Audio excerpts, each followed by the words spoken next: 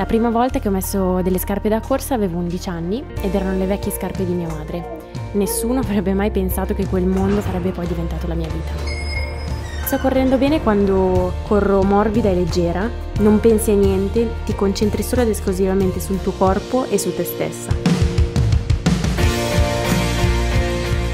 Mollare prima di aver ottenuto quello che voglio non mi piace, sì c'è il talento, ma la cosa più importante lo fa la costanza che dedichi all'allenamento e soprattutto l'alimentazione è fondamentale.